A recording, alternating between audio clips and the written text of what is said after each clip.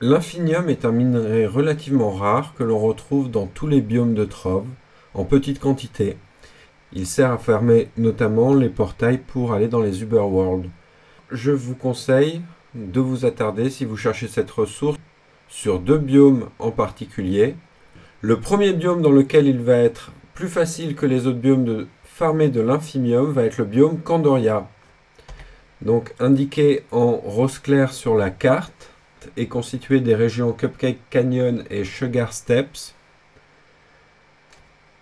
Le biome est rempli de petites grottes comme celle-ci qui renferment énormément de minerais à farmer et comme vous le voyez, il renferme également des filons d'infimium.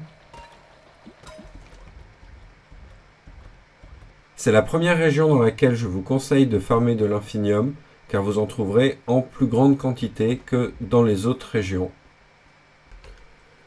Le deuxième biome que je vous recommande pour farmer de l'infinium, c'est le biome Cursed Val. Encore une fois, ce biome est vraiment très très utile pour le farm, qui est composé des régions Viking Burial Ground et Cursed Valley. Dans ce biome, vous allez retrouver des petites grottes comme celle-ci, vous voyez, au fond desquelles beaucoup de minerais, et vous trouverez beaucoup plus régulièrement que dans les autres régions de l'infinium. Cette région est une de mes préférées car elle contient énormément d'infinium et comme vous l'avez vu, énormément d'autres minerais.